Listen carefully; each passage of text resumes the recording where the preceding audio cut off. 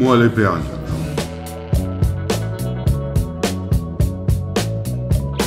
Kada jednom zahvalim se ti. Pa, ne znam sad, uglavnom sve što volim izvodim često. Tako da, sve što volim izvodim često.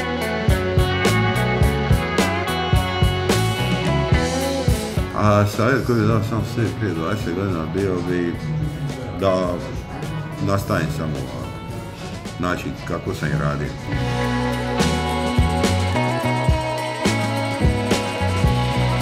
Pa nisam razmišljao o tome. Puno ih jako, jako je puno i dobro pjeva i muškaraca i pjevača i pjevačica. I što se tiče pjevanja nemam tu šta reći. Svi su jako dobri i zapeli smo svi za oko što se tiče pjevanja.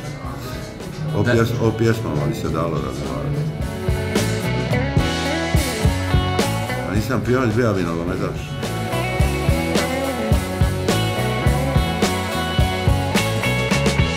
Pa, vjerojatno ne mogu jedan dan napraviti puno. Ne bi mogla ništa napraviti jedan dan. Moj najdraži duet je Zori Žartić.